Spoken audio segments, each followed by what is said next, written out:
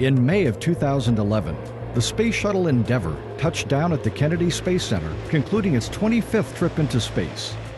Since then, the orbiter has been undergoing preparations for public display at a California museum. From STS 49 in May of 1992 until STS 134 19 years later, Endeavour's crews completed 25 missions, flying more than 122 million miles, totaling 299 days in orbit. During Endeavour's final flight, the astronaut crew delivered the Alpha Magnetic Spectrometer to the International Space Station. The device is now used to search for unusual matter in space by measuring cosmic rays. Since Endeavour's return to Kennedy in June of 2011, work has been ongoing to prepare the spacecraft for display at the California Science Center in Los Angeles. One of the final steps in preparation took place on August 10th in Bay 2 of the Orbiter Processing Facility, when closeouts of the shuttle were completed. Appropriately, the last person out of Endeavour was Kennedy Space Center Director Bob Cabana.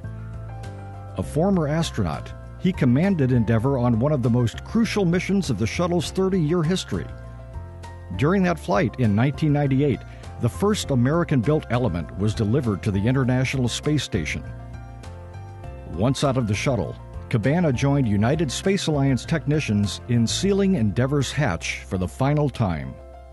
Less than a week later, Endeavour backed out of its processing hangar and headed to the Vehicle Assembly Building, swapping places with sister spaceship Atlantis.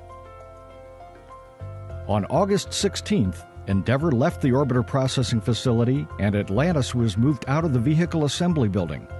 Along the way, both shuttles stopped for a nose to nose photo opportunity.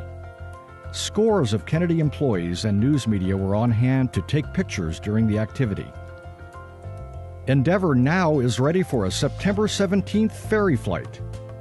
Once on display at the California Science Center, it will represent the shuttle program's legacy and inspire future generations of space explorers.